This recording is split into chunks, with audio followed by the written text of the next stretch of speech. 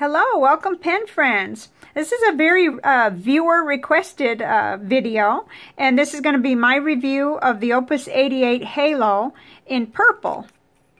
So I received this as a generous gift from a pen friend uh, about a year ago, I want to say. Yeah, about a year ago. And from pen friend MB, thank you so much. Um, and by the time I received this one, I was completely in love with the brand. So these Opus 88 pens, they're made in Taiwan, and this particular one is a collaboration between Opus 88 and Lennon Toolbar, another company from Taiwan that makes inks. And I haven't been able to find just a lot of information about them, but I did find out that Sugar Inks in New Jersey carries their ink. And I found uh, these pens, two places so far. I found them at Vanness Pen Shop, and I found them at Jet Pens. So they are, you know, available here, which is really nice because if they're if they're not available in, in the country that you're in or, you know, vended somewhere, that makes it a little harder, like the special one that I ordered. But we will be, today we'll be looking at the pen and the packaging.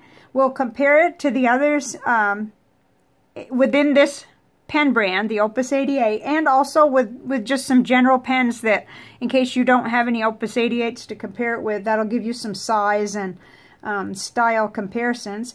And then we'll write with this one. I've got this inked up with uh, Pilot Iroshizuku Murasaki Shikibu. It's a beautiful purple and a very flowy, reliable ink.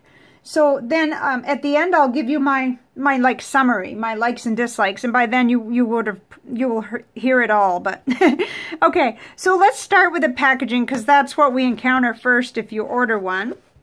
And this is this is a beautiful kind of light blue slip cardboard slip for this case, which is a magnetic. Let's see, I got it upside down. It's got a kind of a magnetic little box, and inside, you know, the pen came right here and a little booklet and a little eyedropper. These are eyedropper pens.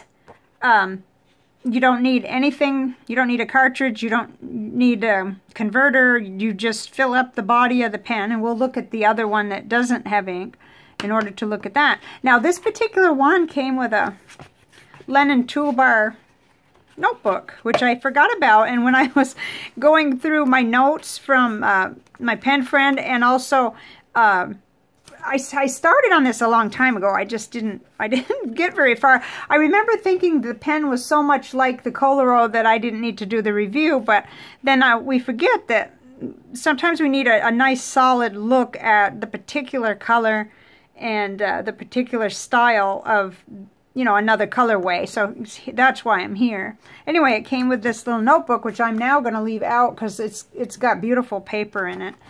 So, um, there is that. I mean, it's a lot of packaging, and I know some people don't like that, but it definitely is gift-worthy packaging. Very nice, and it'll keep the pen protected. So there's that.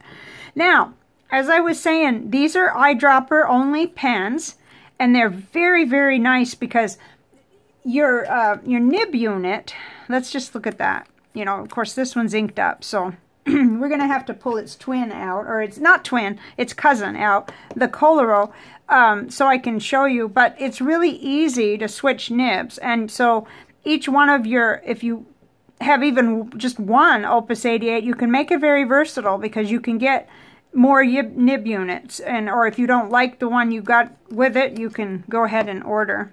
And I saw that the price today, July 3rd, 2022, as $16 for the nib units at Vanness. So these just literally, well, normally I get this, but my little lobster band to take it off, but it's not tight right now because I just exchanged them.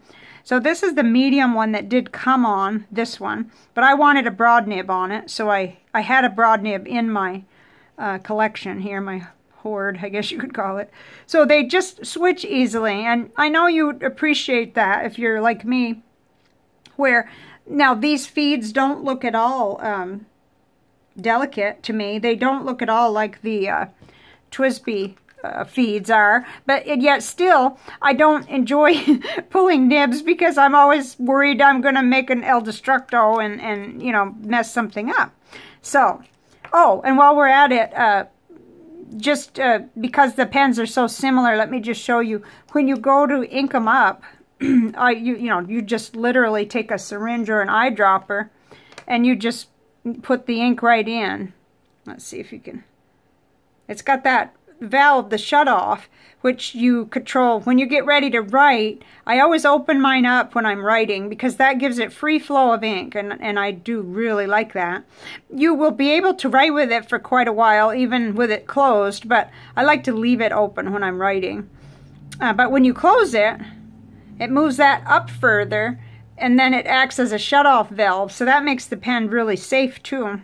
The other thing I was thinking about when I was getting ready to do this review is that uh, I don't use any silicone grease on these, so it's wonderful not having to mess with, you know, silicone grease is messy, and with me then even cleaning the pens, then I'm worried I'm going to get it somewhere it's not supposed to be, which is fine. I, I get along with that just fine with my little Moon Man, but I like not having to use it. So this is a, a clear demonstrator. The only part where the color shows up is, of course, the ink. You could kind of see in there is purple, but it's the section that identifies it in terms of which color. And today I saw, I think there were five. There was, um, I jotted it down somewhere, blue, gray, green, clear, and purple. So that came in several, this comes in several different colors. I really like it. Um, I was trying to think, one of the places where I'm most likely to have staining is on a clear section too, so it's kind of nice with that purple section. I could use even my stainier ink and I wouldn't really worry. You, of course, you could always get it in the cap, but you can clean that pretty easily. So, um, like I said, it's got a broad nib on it right now. I'm going to go ahead and open the valve up because we will be writing with it soon. It has uh, couple of features that we can look at real good. It's got a nice little, uh, I think that's the, hmm. Yeah, the, the Koloro just has it plain. I'm thinking that's a, a Lennon Toolbar little thing, but I'm not sure. I'll have to look into that and see. It has a nice clip, a heavy-duty clip. It's got a little flex. Let's see. But I, I don't think you'd have any trouble with it. Getting It's rounded, so you could probably put that in your pocket pretty easily. Um, oh, I meant to look up the capacity. I, I think it's 2 mil. Uh, maybe it's probably, yeah, it's, I jotted down that according to the specs online anyway, it says 2 mil. That's a nice generous ink capacity. So, we've looked at packaging and we've looked at the pen pretty good. It's got kind of a little styling here with the silver at the uh, finial, uh, no, not finial, the other end, the knob, the little uh, shut-off knob. And it's just generally a very nice size. It's, it's about five and a half inches long. But let's uh, segue to comparing it with other Opus 88 pens. I'll be right back. Okay, I have a few duplicate models. Uh, I have two of these and I have two more of the Omars but this is the unique, I have just five unique pins. Um, and this is the Koloro that looks so much like it and is the same size. The only difference we're seeing in length is because I have that, that uh, shut-off valve open on the Halo and I have it closed on the uh, Koloro. But if I open it, then we're dealing with the same, the same length and everything, the same styling on the clip. And uh, it's just the different colorway and different materials. So it's uh, very, very similar. and they all work in the same way with the shut-off valves and the uh, knobs that you open to allow the free flow. So we'll put this one over here. Okay, so this one is, is almost a carbon copy in terms of uh, size and everything. And um, then you have the demonstrator. This is the one from Stylo and Style uh, from Italy. And that's where I was talking about. It's nice when you can purchase the uh, the special collaboration ones within your country uh, because if not, it seems like it's a lot more worries about uh, postage and time that it's going to take. And then this is the Omar. Um, and they, th these both have thicker sections. Let's go ahead and take this. I mean, uh, yeah, take these off and maybe we'll just use this one to compare since we don't need to dry the ink up while we're talking. Um, it's it's a pretty good difference, but I just find all of them so comfortable. These are are nice and girthy. Um, this one and this one. Nice and girthy, and I, it doesn't bother me whatsoever, but I've heard people say that, that they aren't as comfortable for them. So that, if that being said, this one is listed at, uh, see, was, I want to say, I have it written down, 10.7 to 16 millimeter. I'm assuming they're going from this thin part, 10.7, all the way up to the the thicker part of the section. So it is smaller, but it's still comfortable. It's within the range of comfort for me. So I really like that. And then we have the Mini. This is the Opus 88 Mini. Oh, look at all those pretty caps. Um, and this is really thick, too. This is nice and girthy, even though it's a shorter, smaller pen. So probably need to compare some measurements. Um, anything to do with measurements, though, uh, other than just in passing, you know, mentioning it, I'm going to put in in the description box because it gets very confusing. And you can look these things up too at, at the retailer. They'll generally list everything. They'll list your weights and, and all of that. Um, none of these pens are super heavy in my opinion, not even the uh, uh, Omar. And I don't actually uh, post any of these. Let's see whether our Halo can be posted. I think it can. I just never do. Let's see. Yeah, it can be. I just, I don't like that. I, I don't really think there's any necessity. My hands are a good size medium hand, and I don't need to do that. I kind of wonder if it would even stay on. I hate to push it. Well, yeah, okay. So when I pushed it on, it stays, but I, I don't that makes me nervous for some reason. Maybe I'm just afraid I'm going to scratch it, but it's uh, something you'd have to explore and kind of ask other people that actually do post, because I just am not a poster. I'm not a poster of pens, except for the ones that are screw to post, the really small ones like the little Moon Man. And that, that brings me to another thing I was going to talk about, the fact that there's really nothing I have that compares eyedropper wise to these pens. I mean, I could show you a 992 that you can eyedropper, but that's so much smaller and, and just a two or three dollar pen. These are high quality, very, very uh, reliable pens that are like, you know, they've got everything going for them as far as I could tell. And you can't really compare with the Moonman either um, because of the size difference, this being a pocket pen. I find these very reliable and I've carried them around in my pocket. I won't do it today because our heat index is uh, 107 to 114. Well, I'm not gonna I'm not going to do that when I go out today if I have to go out, which I might uh, pick up something, but anyway, so I don't really have anything that compares, so I'm going to drag over some just all of the ones I have inked right now to compare with the Halo because now we've kind of seen, well, I didn't leave that uncapped because truthfully it's inked and I don't want it to, you know, sit there and dry, but definitely a lot smaller, but just such a happy pen. so we'll get the get the cover right back on that one before it dries out. Um, but we'll look like at some TWSBIs and uh, Lamys so that you can see how they compare to the Halo in just a moment. Okay, these are actually uh, my 8 for July 2022 that I'm working with right now. Um, so I'll move the tray away, but we'll start comparing them. Um, let's see, let's just grab a TWSBI Go. So the TWSBI Go is shorter. Let's see, We're, we can go ahead and close that valve just for now, just to show it kind of shorter, but not by much. And then a TWSBI Eco, which is a piston filler. This has that spring mechanism, the Go does. And then this is a piston filler.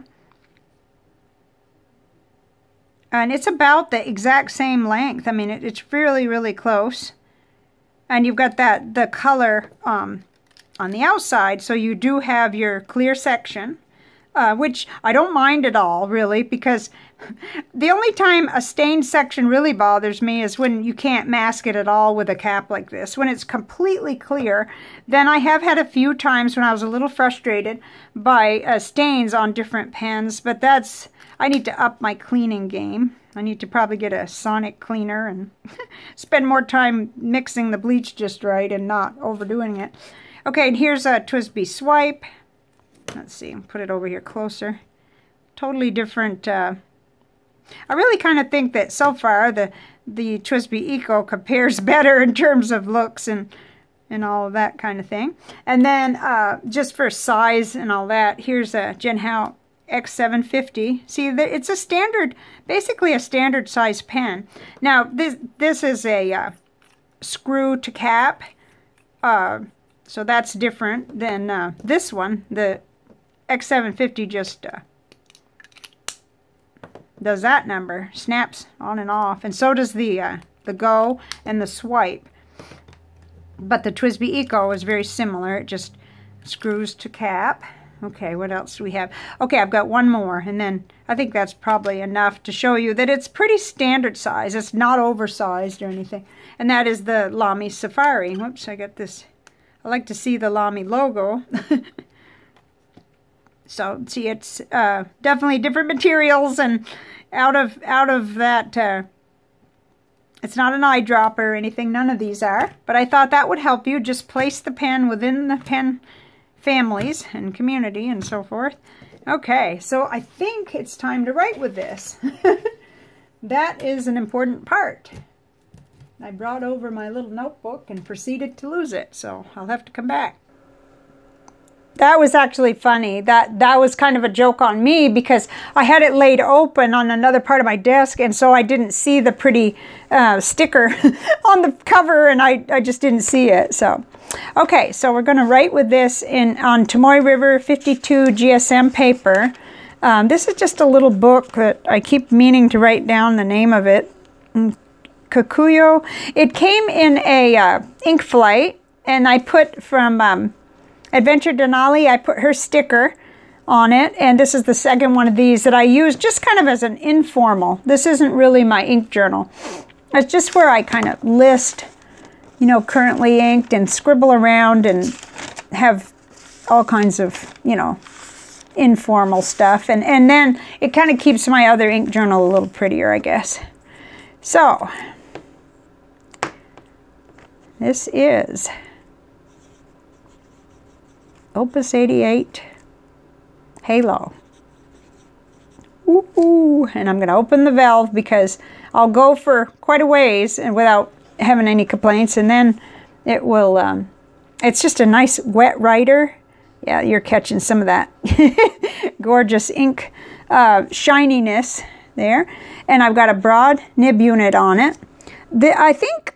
Uh, this one probably came on one of the other pens, but it definitely is a broad nib, and the nib units, like I said, are, are $16 at Vanness, which I find just expands the ability to, to have all the different options on these pens.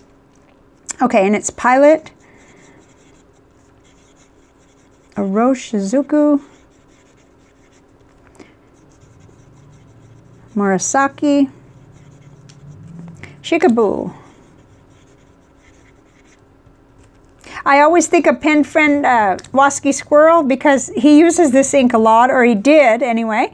And uh, yeah, it's just a gorgeous ink, and it's it's a safe ink and a and a flowy ink and everything else. So I love it. Okay.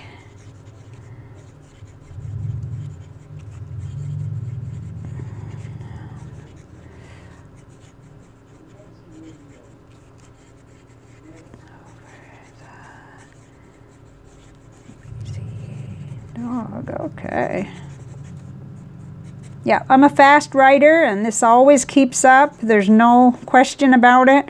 You get a nice ink flow. And I've heard it said by others that these pens are just so uh, so high quality for the price. Now, we, we might as well segue into my, um, you know, likes and dislikes because that's a perfect time actually to do that um, because I have a, a thought about that.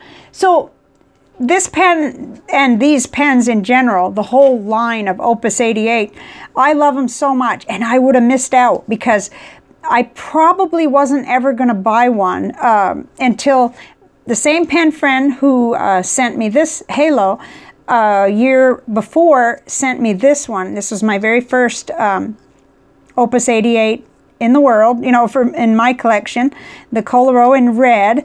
And I wouldn't have you know, I just wasn't really getting into that price range there. So uh, this one here, and well, this one too, I think is still $93 is uh, the lowest I've found it, and then I have found it up to 110. So you need to look for sales because that happens, and you need to look for coupons or a discount codes and things like that. Look for that. Look for making a large enough order to get some free shipping or whatever it is you have to do. Because I remember when I was uh, when I had a windfall and I got a few more Opus 88s from Pen Chalet, I got some really good discounts and it really made my pen money go a lot further.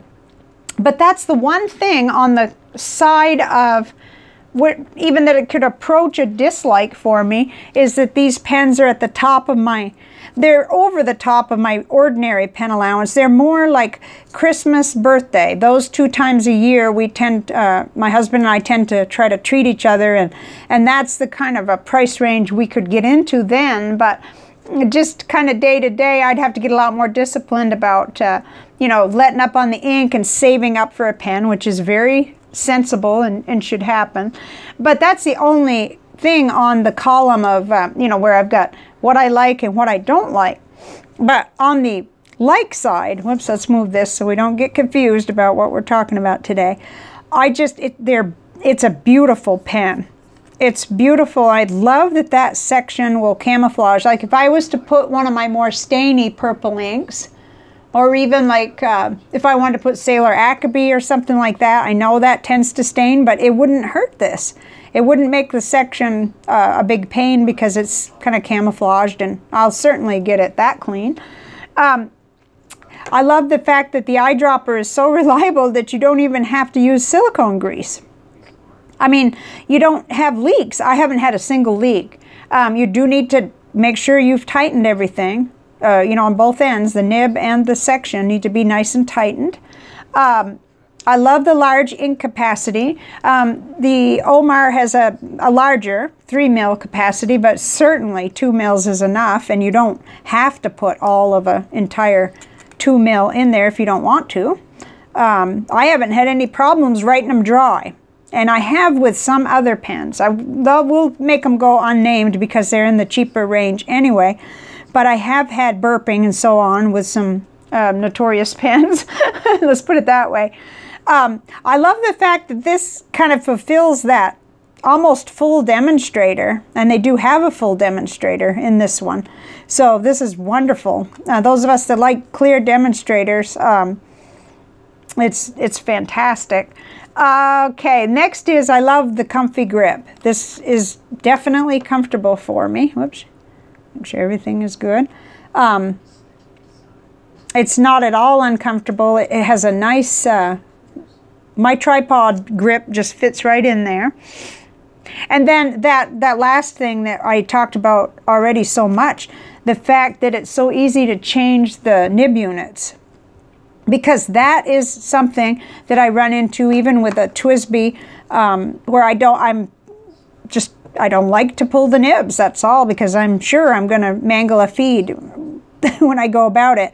Um, but it's just so easy with these little screw-in nib units to have, like I have the stub nib, whoops, that can, uh, just one of them that can go on either the Koloro or the um, Halo. So, whoops, I just lost the cap to that little thing. so there's just a lot to love.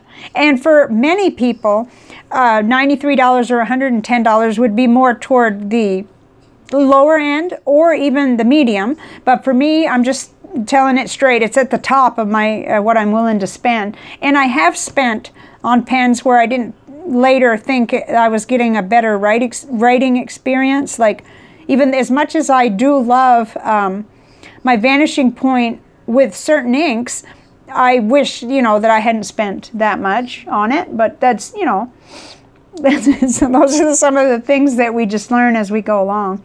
I'm trying to think if there's anything else, um, you know, to mention. And if you watch both videos, I did not go back and watch my other video on the Koloro because I was afraid it would influence me. So I didn't, but I would imagine you're going to run into a lot of similar things. Um, I don't recall exactly what I said, but I know that uh, some of these things are persistently at the top of my mind. The fact that I just love it that I don't have to use the grease on these and that um, they're so reliable. And opening up that valve gives you a choice of, of your ink flow. Um, and then it allows you to shut it off. So when it's in your pen case, very little chance of any really big things happening because you only would have what's in the feed. So that's nice. You could put it away uh, securely. I can't think of anything else. How long have I talked? Oh my. Okay, no wonder. I've talked quite a bit. But you guys may have other things you can put in the comments. Um, I've heard mostly, like I'd say 95% good things from anybody who did end up influenced by me and tried an Opus 88. I've heard really good things, uh, but I have heard that some of the larger pens might not be comfortable for everybody's grip. So that's something to know. And uh, let's just go from there. Let's meet in the comments, and that way we can uh, talk about this pen and any other pens that you want to. And thank you so much for watching. And thank you for asking for the video persistently. And I'm sorry it took me so long. I really um, kind of misplaced my papers. I had a it's a mess, let me tell you, because I added a lot to it, you know, just thoughts that I didn't want to lose track of. Because usually as soon as I press the end on the video, I think of 20 things I should have said, but that's okay. Um, this is just, this will give you an overview, and if you're interested enough, then you can check some more. Uh, I know there are lots and lots now of um, reviews on the brand. There may not be too many on this, but I know other people did get around to it quicker than me. So I will see you on the next video, and I'll see you in the comment section. Bye for now.